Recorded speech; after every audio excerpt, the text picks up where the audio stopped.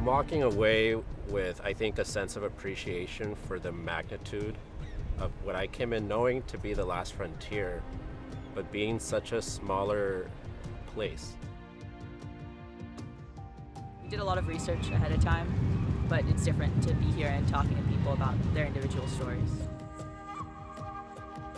One of the like big problem areas that we've just heard again and again and again is uh, energy, like the cost of energy, the um, you know greenness of energy. And Hoonah, it's 63 cents per kilowatt hour, which is absurd. You have an oil-rich state, produces a lot of oil, produces a lot of wind, produces a lot of hydro, but with that oil, they produce the oil here and they send it back to the lower 48 to get refined and then they buy back the diesel, which is the lifeline of this community. These people live in this energy rich state and they're paying electricity prices that are somewhere on the order of three to six times what we pay in the States. It is their lifeline to food security. It is their lifeline to transport on and off the island. It is their lifeline to heating in the winter. On one level, it's, it's issues of rural America, and it's scary for us to be trying to engage in something so so in a sense generic and not you know hitting you in the face and yet there's opportunities there that's a, a big impression for me the Tlingit culture was pretty interesting to me in a way that I realized how open to change they are. Everybody's so open. Like you say, I'm a student, can I ask you some questions? And they light up.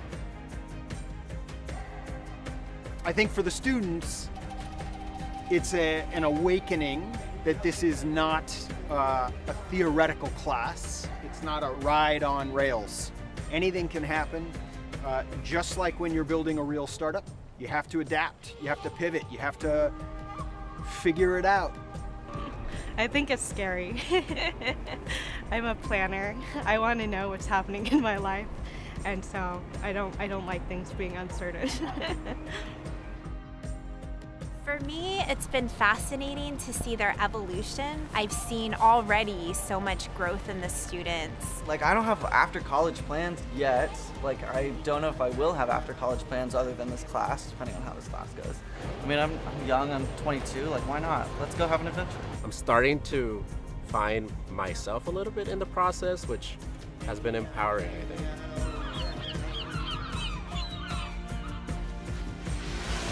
My team is the, the orcas. So we got some little whale tails.